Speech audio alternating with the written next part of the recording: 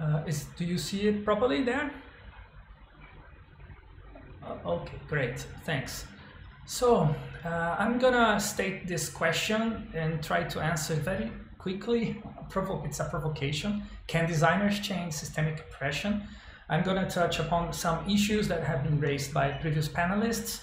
However, framing it uh, from the perspective of the Global South and particularly Latin American uh, uh, school of thought on systemic oppression. The three questions uh, that are required to answer this major one is what is oppression, why is it systemic, and what can designers do? Um, I'm going to summarize graphically the theory of uh, ontological vocation of human beings or uh, theory of um, human development and liberation from uh, Frantz Fanon, Álvaro Vieira Pinto, Paulo Freire, Augusto Boal, and other authors.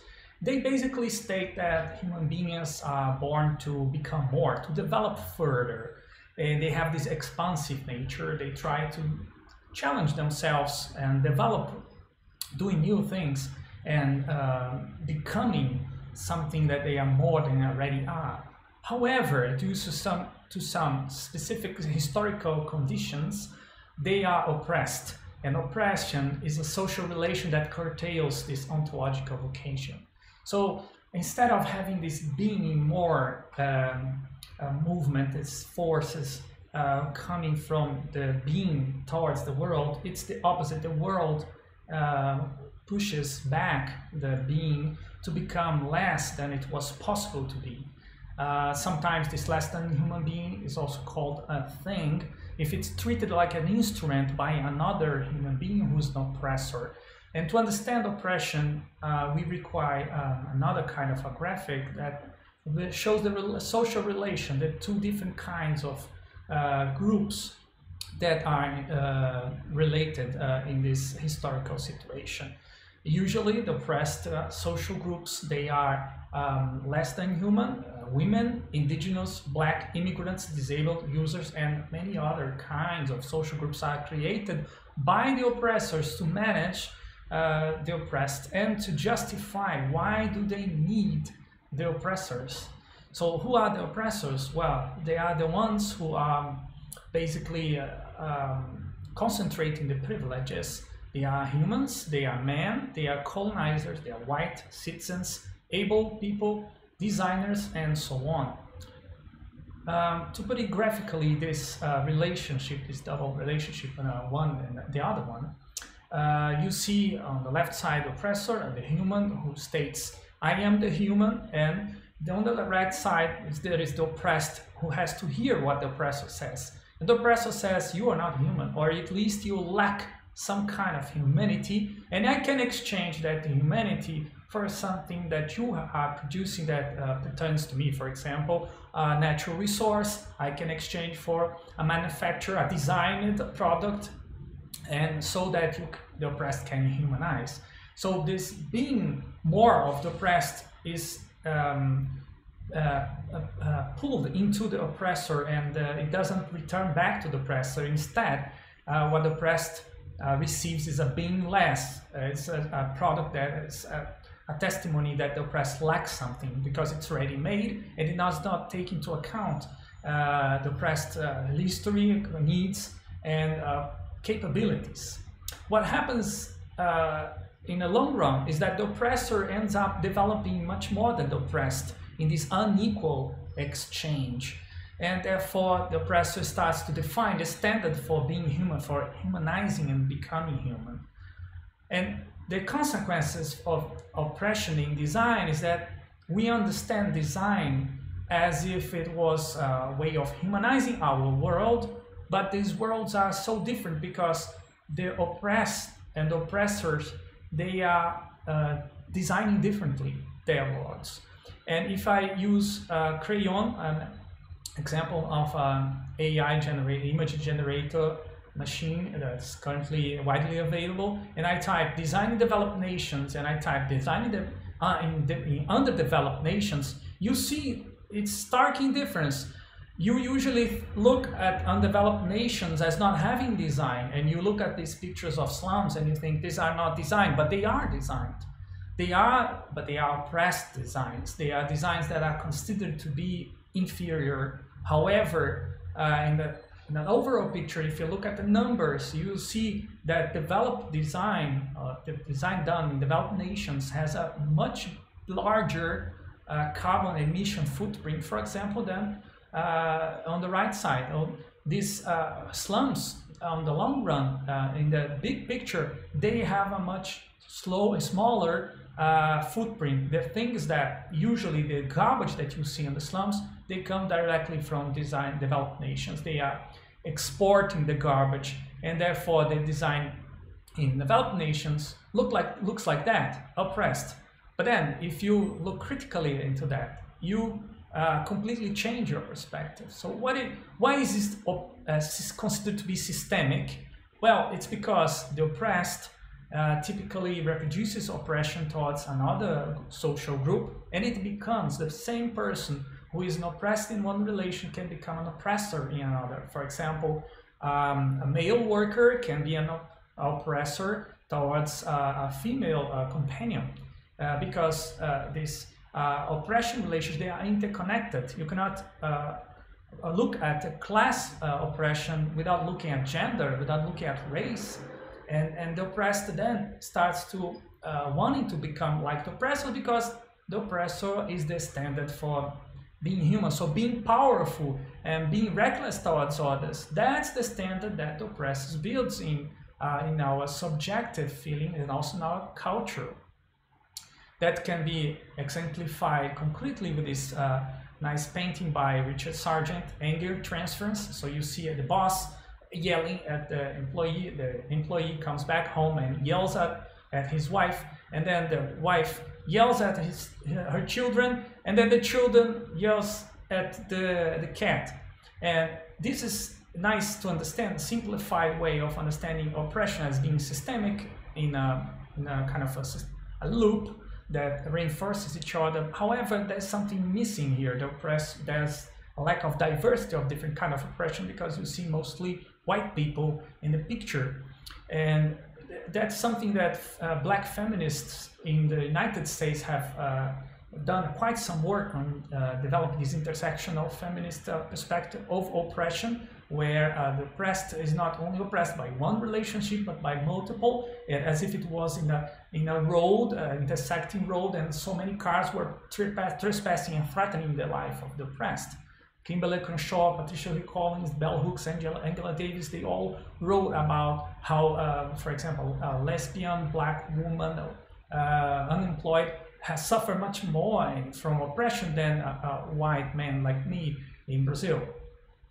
However, this has uh, uh a larger impact. If you look, for example, uh, if you put an environment in the, into the equation, you see that uh, inter the intersections of oppression also affects back the oppressors in the systemic loop. And the oppressors use their advantages to adapt and to anticipate for example environmental damages to, and to uh, shield them from uh, environmental issues and, and, and, and, instability and this has been uh, shown by several research. I'm just picking one here that says um, residential segregation, which is uh, an outcome of uh, social inequality, which is, can be explained through uh, oppression theory, uh, causes resources distribution inequality so that these people uh, they need to for example to eat uh, food that is more impactful to the environment that's heavier that produces more garbage and then the landscape changes becomes less heterogeneous and that has an impact on the biological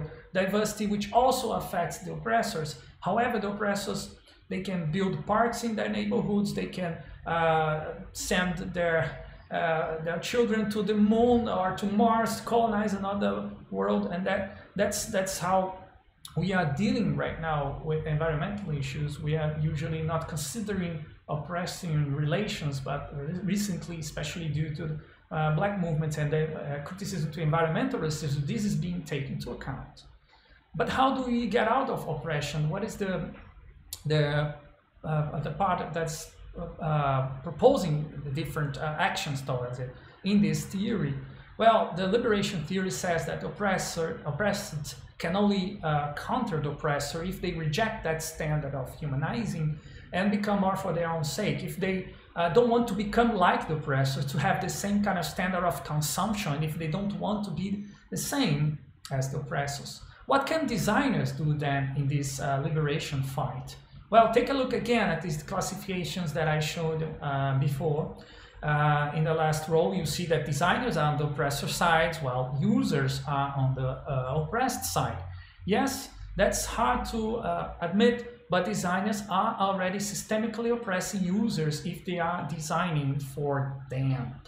Uh, that's a uh, very provocative finding from our research on uh, user oppression, human-computer interaction. You can check this paper later on. I don't have enough time to go into details, but like to summarize, if you reduce a person uh, uh, that has this being more ontological vocation to become only a user of anything that you are designing, be that a service, a technology, an interface, or whatsoever, if you consider that person cannot design that thing that you're doing, you are oppressing that person. Yeah, so there is not much you can do against oppression on the oppressor side. It's you cannot uh, fight oppression as a designer and only as a designer. You need to side with the oppressed to fight oppression. You need to side with the users and also the other kinds of oppressed that I've shown before. But uh, bear in mind that you are also oppressed. You have to find uh, which kind of groups that you are uh, that is also oppressed so that you can be, make a bridge on an analogy to the oppressed situation of the ones who you want to work with. And for example, just to give a, uh, glimpse on how this can uh, happens, how do you can you realize that design workers are oppressed not because they are designers, but because they are workers in a capitalist work exploitation relation. Uh, so are women designers they are oppressed not because they are designers, but because they are women and also workers. Women in a sexist society. Well, then my suggestion and what we, are trying in the Laboratory of Design uh, Against Oppression, LADO, at the University, uh, at the Federal University of Technology, Paraná, is joining the oppressed as an oppressed not as an almighty Deus signer that can save them. Deus signer is a word that you use a lot here in Brazil because the word God is Deus in, in Portuguese. And designer will be the God designer that knows everything that has this marvelous system thinking approach to solve uh, wicked problems. That's not the way uh, you can fight oppression. In this way, you will oppress instead of uh, liberating to liberate, you have to join the fights that are already going on by the oppressed themselves. So we joined Uniperifa, which is a, a group of um, peripheral uh, um, students and activists who want live in the outskirts of Curitiba city and they want to bring these uh, students to the universities, the public universities, and they are working with universities like us um, so that uh, students become more conscious of the importance for their communities for them to have higher education. And we had this marvelous uh, co-design workshop with uh, condominium with uh, condomínio Iguaçu um, uh, inhabitants. Uh, they are some of, of, them are part of this Uniperifa movement, and we uh, designed community actions together. And while looking at uh, the map we designed, we did notice that there were several sustainability issues. For example, uh, ga uh, garbage collection that the the mayor uh, and the city didn't want to take care of, and they had to convince uh, the the inhabitants of the that residential area that they needed to organize and to press city hall so that they would do garbage collection. But that would take uh, organizing that they lack because they were oppressed. They were separating to those groups they thought that they had they didn't have anything in common. Therefore, we decided we had to focus on the community center to start um, moving things around. And we uh, organized this uh, uh, community center renovation and our design students joined the community members uh, to paint and to fix uh, what was uh, broken in that community center to work as a symbol for the community that things were becoming to change, that they could be part of that change. They were already part of that change. We just needed to uh, join forces and do the work.